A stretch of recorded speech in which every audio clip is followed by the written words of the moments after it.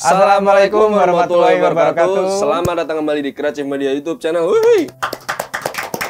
Seperti biasa, bareng saya Bagas Wegani. Dan saya Ajos, koordinator Tongtong Prek sekota Pekalongan. Luar biasa, saya ngobrol bareng koordinator Tongtong Prek sekota Pekalongan. Ya jadi buat teman-teman yang di rumah kalau mau sahur jangan khawatir, nanti anak buah saya siap, siap, libas semua. siap. Pokoknya dari pelosok sampai kota, Iya. eh, Tongtong Prek semua ya. Keprok semua pakai Tongtong Prek biar kalian bangun. Oke siap. Nah, eh, buat kalian yang di rumah yang nonton ini puasanya gimana nih? Lancar nggak selama seminggu ini ya? Semoga lancar buat teman-teman. Lancar ya harus lancar dong. Harus lancar. Harus lancar puasa atau itu bukan eh, bukan hal yang susah. Iya sebenarnya. Ada yang susah sih. Enggak, enggak susah sebenarnya karena memang puasa itu satu kewajiban buat kita. Oke, ini siap, kan siap. buat tiket ke surga sana. Nanti Kali ini kita mau bahas apa nih? kita mau bahas tips buat berpuasa biar enggak bolong-bolong, biar lancar, biar maksimal. Ya, jos lah ya. Bang. Iya, Jos.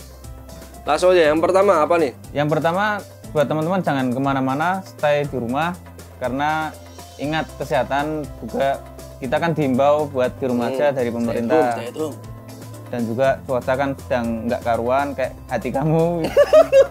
Nggak karuan kayak muka kamu.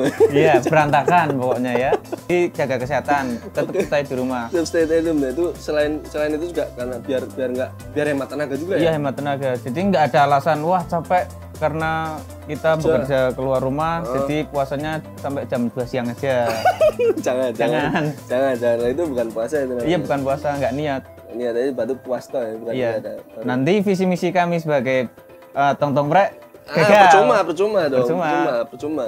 Kita harus tetap maksimal buat berpuasa. Oke. Terus yang kedua tuh makan secukupnya sesuai porsi. Jadi kalau yang Hmm. buat kalian yang puasa, kalau buka tuh ya Mbok, eh, jangan jangan bahas dendam gitu. Iya. Jangan makan brutal wah ayam satu geluntung dimakan, Dimakan.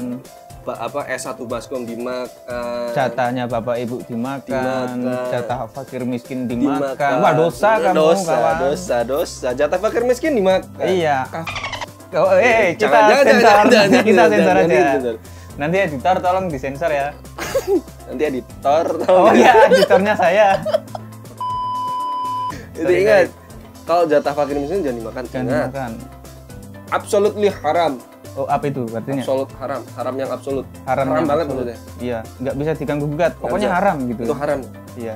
Kalian di rumah jangan barbar lah ya kalau setelah berbuka puasa itu nanti barbar ya. jangan-jangan jadikan alasan terlalu kenyang akhirnya nggak terawih. Nah, itu ini. biasa saya. Oh, kamu juga ya? Karena memang beberapa anak buah juga kayak gitu. Sering saya marah-marahin juga. Terakhir saya gantung dia di apa pendungan tongtong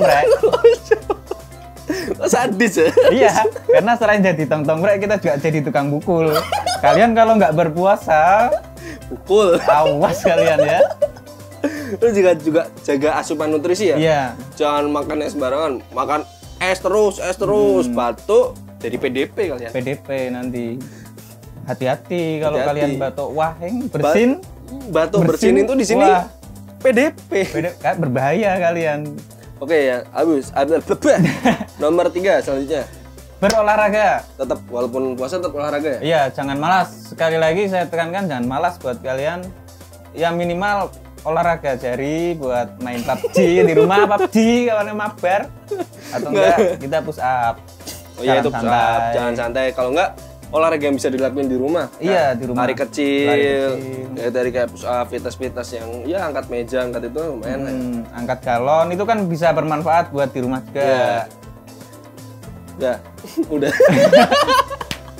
Udah, kita lanjut yang ke berapa tadi? Empat.